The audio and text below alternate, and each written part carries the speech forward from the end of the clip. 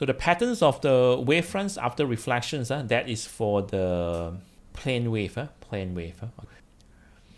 So reflections of waves obeys the laws of reflection. That is, the angles of incidence is what? Is equal, uh, is equal to the equal to the angles of reflections and the incident wave, the reflected wave, and the normal lies on the same plane. Uh lie on the same planes okay? Actually we discussed this one just now right? And for reflections of circular wave the distance of the image from the reflector is equal to the distance of the source. I will discuss this in next slide yeah? I'll give you the answer first. So that is for the uh, reflections of a plane wave eh? reflections of plane wave uh, circular wave. Okay. So this is the circular wave eh? okay. So this is the source uh, of, the, of the wave. And the source of the wave usually we call it the object.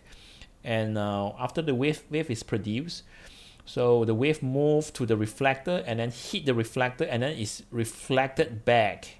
Reflected back okay? Now this dashed line actually is the Im imaginary lines eh? okay it doesn't it doesn't exist there okay? But uh, we just draw there as a reference eh? and uh, we found that if we draw these lines okay um, these lines form a circle.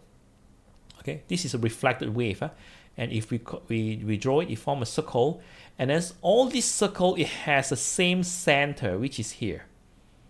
It hit the reflector and then reflected back as the a circular wave, eh? okay, as a circular wave.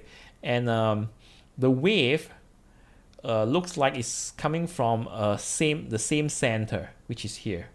So this is the wavefront diagrams that you need to know uh, for the reflections of circular wave. Usually these come out in uh, objective questions. Okay, in objective questions. So we call this point, uh, okay, this point as the image. Uh. So this is object and this is the image. After the reflections, uh, the wavelength remain the same. The wavefront is still the same. The distance of the source uh, from the reflector is called the distance of the object and the distance of the image from the reflector is called the distance of the image. And the distance of the object must be equal to the distance of the image. These two distance must be the same. Must be the same. Because in exam sometimes they would draw this uh, further or nearer just just to confuse you. So make sure that the distance of the image from the reflector is the same.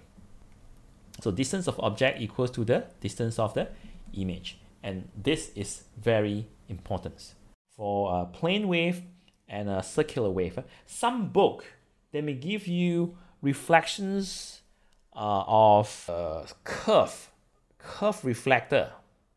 Okay, the reflector, and then there's uh, straight lines. Okay, this is a wavefront. The wavefronts hit on the curve reflector, and what will happen? Now that one is no more in the syllabus okay no more in the syllabus eh? so if you some books some reference books still have it uh, if you see that then you can skip that okay so what you need to know is the reflections of plane wave and circular wave by a flat reflector only a flat reflector curved reflector is no more in the syllabus eh?